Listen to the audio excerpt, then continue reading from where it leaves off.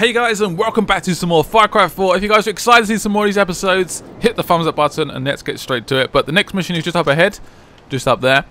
Um, but I've also got some different guns. So I've got this new gun here. It's like a sort of uh, LMG gun, which is pretty awesome. New sniper rifle with a nice silencer scope on it. Look how big that gun is. It's massive.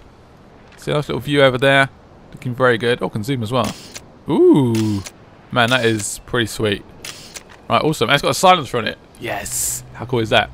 So I've got one mission available. Uh, this is one up just up ahead here. Which I'm slightly worried about. Is there a poster over there? Where's the, where's the poster? Is it, up, is it up in the rocks? Ooh, posters.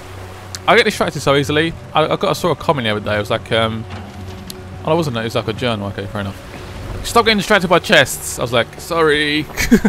I just keep, every time I still see a chest, I'm like, it's a chest.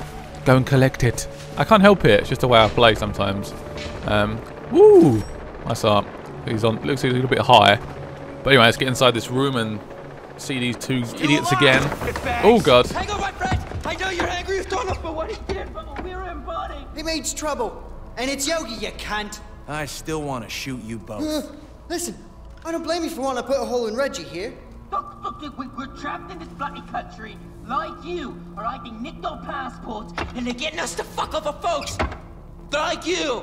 And we can't go back to India after that incident with the cow. Cows, uh, right, cows, uh, oh, so many cows. Yeah, there's 10 million hits on YouTube so far. Really? Yeah, it was. Okay, look, look, look. look. We, we, we, we thought no one wanted to parlay. We didn't think she was gonna throw you in the arena naked. Yes, we did. That's why you bet against him. I only technically bet against him. I, I was trying to cover the spread, my old China.